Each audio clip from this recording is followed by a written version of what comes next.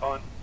It's March 15th, 2008, and in today's space update, the newest Global Positioning System satellite was successfully launched early this morning aboard a United Launch Alliance Delta II rocket from Space Launch Complex 17A at Cape Canaveral Air Force Station.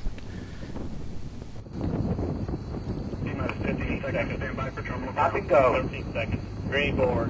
T minus 10. Army knife. 9. Minus nine, Eight. eight, seven, six, five, four, three, two, one. We have liftoff. Liftoff of the United Launch Alliance Delta II rocket carrying GPS.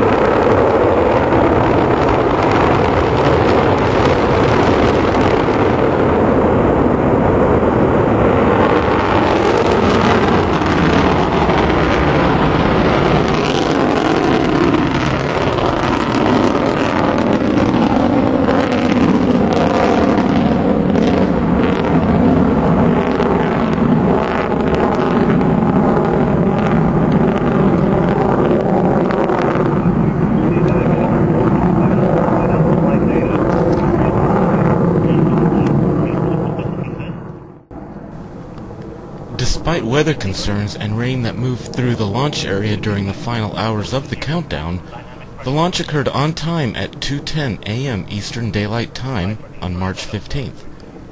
The Delta rocket placed the GPS, GPS spacecraft in orbit 68 minutes later. Weather had been a concern all day. The forecast earlier in the day called for a 40% chance that weather conditions would prohibit launch. In fact, up to 90 minutes before launch time, rain was falling around Cape Canaveral. In the final hour of the countdown, however, the clouds parted and by launch time the skies were mostly clear, with the moon and stars clearly visible. The clear skies provided the perfect conditions for a spectacular launch of the 332nd Delta rocket in the 48-year history of the venerable launch vehicle.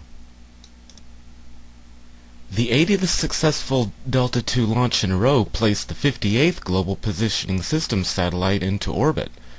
GPS-2R19 is the 19th Block M spacecraft and the sixth upgraded version providing greater accuracy for civilian users and enhanced security for the U.S. military and government.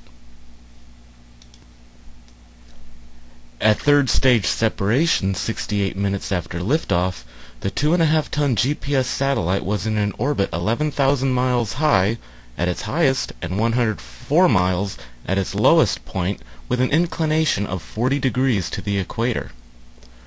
A small rocket motor on the GPS will be fired in a few days to circul- circularize the satellite's orbit at 11,000 miles and also increase its orbital inclination to 55 degrees so that the craft can join the rest of the GPS constellation. Designed to operate for 10 years, GPS satellites orbit the Earth every 12 hours, emitting continuous navigation signals.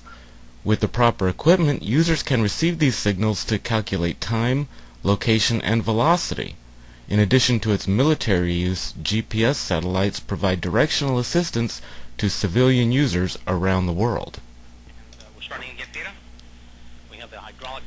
And that's today's space update for March 15th, 2008. For more space news, visit the Spacearium at www.spacearium.com or spaceflightnews.net. Thank you for watching.